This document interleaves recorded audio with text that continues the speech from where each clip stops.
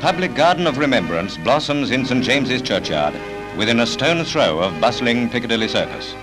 Given by the late Lord Southwood on behalf of the Daily Herald, the garden commemorates the courage and fortitude of Londoners during the war. Memory slipped quickly back to October 1940, when a thousand pound bomb destroyed the rectory and damaged the church.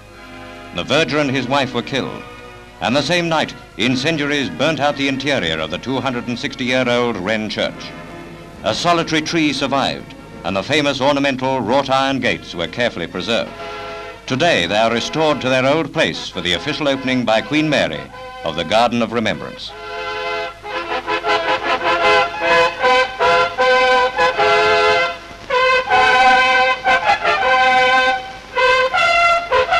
In this garden, London may remember her days of suffering and greatness.